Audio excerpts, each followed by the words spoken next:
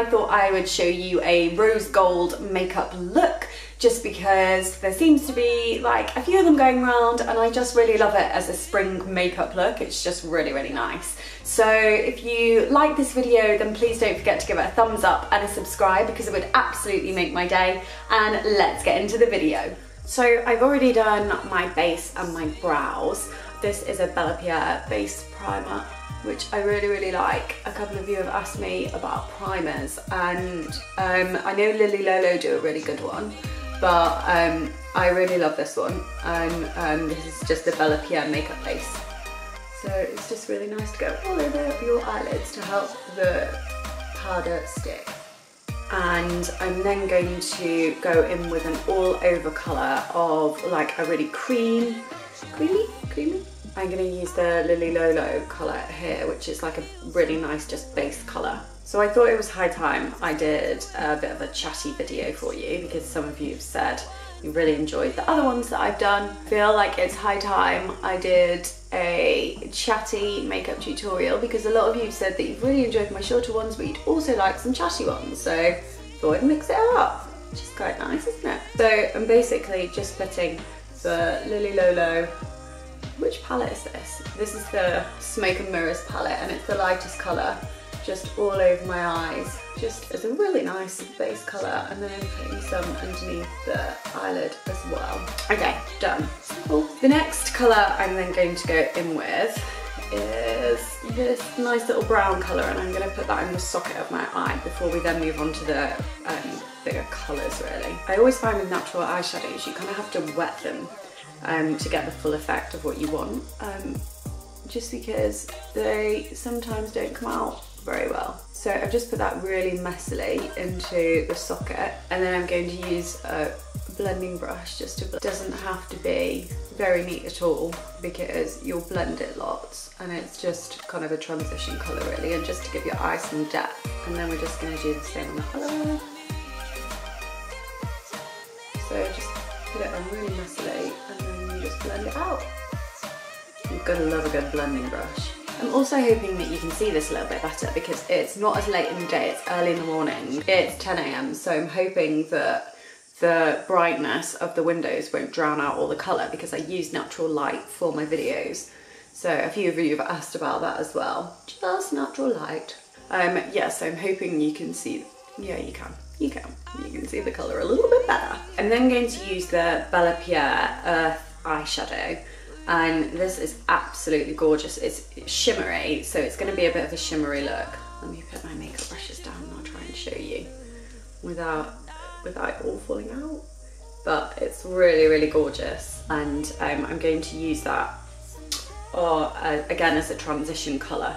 So I'm going to put it on dry first, and then I'll build up the intensity if I want to with um, some water added to the brush. I always find with um, these shadows, try and dab them on first just because you don't want loads of colour fall out underneath once you've done your base. I mean, you can do it before, I mean, before you put your makeup on, so then if you do get any fallout, then it's totally fine.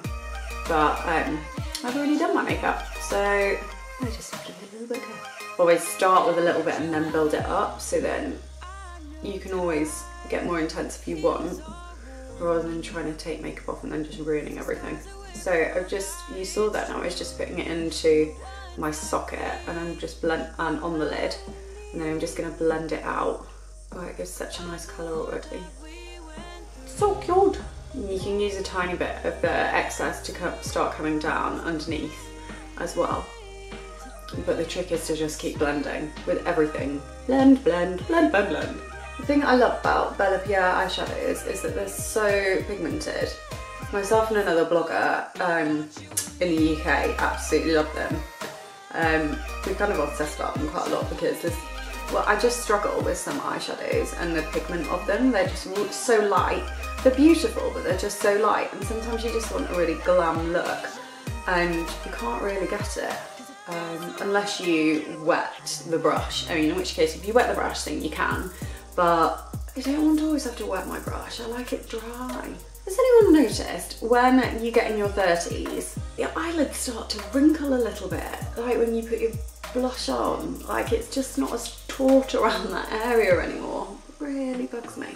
I'm then going to go in with the Cocoa Bellapiere eyeshadow and this is just slightly darker than um, what I just put on, which was the Earth. And I'm going to put that on the outer V. So, and again, we're just going to pat it on with the same brush.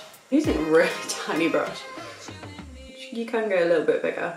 So as you can see, I'm just dabbing it on and then we'll blend again. And don't worry about this area here. We can always clean it up in a little bit. So a little tip from my blogger friend and I. Um, we both used to buy our Bellapiere eyeshadows from TK Maxx because they're really quite expensive everywhere else. And in TK Maxx, they normally have like a contour palette, they have some eyeshadows in there, they just have little kits of them. And instead of them being like 30 pounds or however much they are, they're like 10 pounds. So I'm then just gonna go slightly underneath the eye as well with any leftover eyeshadow on there. Just to add it in. And then I'm gonna blend that out as well. Just if you wonder what I'm looking at, I've got another mirror over here, which is a bigger one, so I can see the bigger picture, as well as the small one here. And my eyesight's not that good that I can just stare over at that one. I've lost my glasses and I just don't know where they are. Try and what you see, I've made a mistake here, so I've gone a little bit, brought my eyelid down by putting the eyeshadow on here by accident. What you want to try and do is keep the eyeshadow in line with your eyebrow, so then it doesn't make your eyes look droopy. But if you made a mistake like me, just get a tiny bit of tissue and just wipe it away slightly. Then it shouldn't make it look very bad. And we can always fix it a bit more later with some um, concealer. Now I've got a makeup brush with a tiny bit of concealer on. It's the Hynt Beauty concealer and I just want to try and clean up around here. Like it's, I've got a teeny tiny amount on there. So it's just to get rid of some of the excess down here. So we've got a lot of browns in here and I, um, we've got a lot of rose gold colour in here now. So what I'd like to do is add some lightness back in. And this is their Au Naturel um, Cosmetics colour in Tupelo. And do you want to see it? Do you want to see? And it's really light and shimmery again. So I'm just going to put that on the blending brush. I'm going to add it to the corners of my eyes and just blend it up. I'm just putting into the corner of my eye and then blending it out and then also a bit underneath here as well. I also just want to go in with the lightest colour on here so I can highlight the brow bone as well. I know I've put glitter underneath there but I'd like a little bit more lightness and this is a really good colour to do that with. And it also just kind of gives a little bit more dimension compared to the shimmer down here, but I'd like to put some more lightness down here too, just so it's not too shimmery. And again, this is just with the light in the light palette, like lightest colour in this in palette. Oh my god, I can't speak. It's just with the lightest colour in this palette again. So I have a question for you out of the green eyeshadows that you use, or the natural and organic ones, which one is your favourite? Which brand? I would love to know, so if you could leave a comment down below, that would be amazing. So I've actually put on the light colour first and then I'll put the shimmer on now again. And it should have been the other way around, but I'll just redo it. Oh, I feel like I have a sparkly eyebrow as well. I really like how the matte eyeshadow over the shimmer like reduces the glitteriness down, but it still gives it a really nice colour. What do you think? So I'm going to then just put some eyeliner on. I'm going to use the Jane Iredale. This is the gel eyeliner. And I always wet my brush to put this on. Um, it just, I don't really know why, I just feel it makes it a lot smoother on my eyelid, especially after I've put eyeshadow on. So I've just put a winged line on my eyes. It's just really, really simple, nothing too exciting there.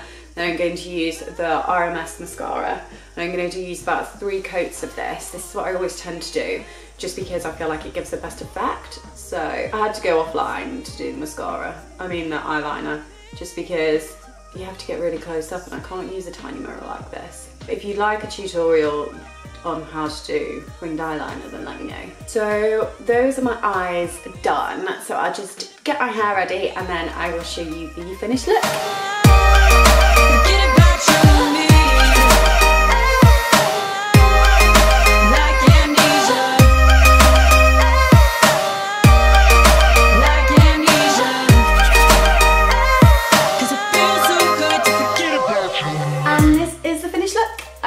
You enjoyed this video. Please don't forget to give it a thumbs up and a subscribe if you did because it would absolutely make my day. And I will see you again on the next video.